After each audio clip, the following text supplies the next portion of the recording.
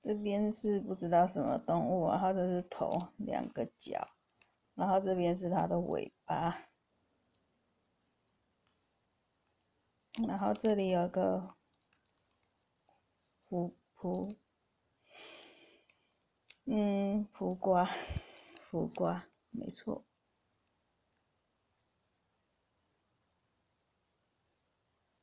这里有石纹，有点裂，然后带一点黄翡。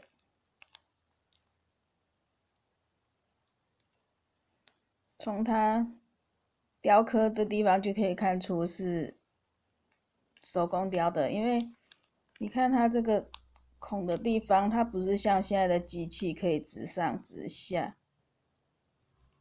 它都是好像有一点。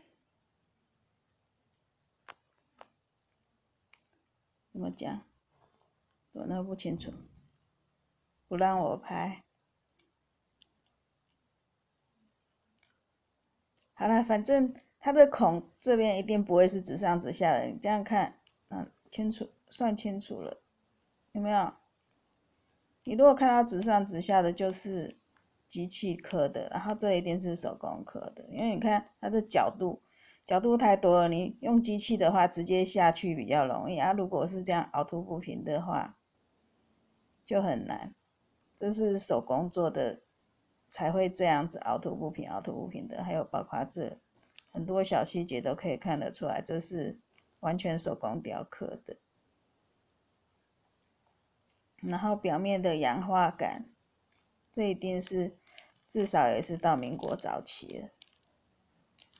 这个胡瓜在后面看起来比较清楚一点，就可以看到一个葫芦形的瓜。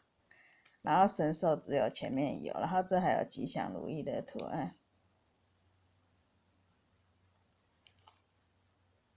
就是这有石纹。